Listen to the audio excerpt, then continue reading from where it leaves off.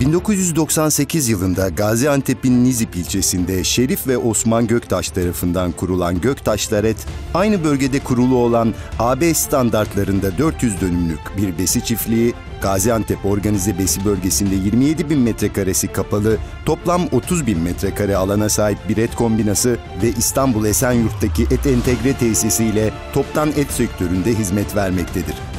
2007 yılında 400 dönümlük arazi üzerine kurulan 23 bin büyükbaş hayvan kapasiteli besi çiftliğimiz, yönetim, hayvan sağlığı, yem merkezi ve karantina birimlerinde hizmet vermektedir. Tüketicilere daha sağlıklı ve kaliteli et ulaşmasını amaçlayan işletmede besi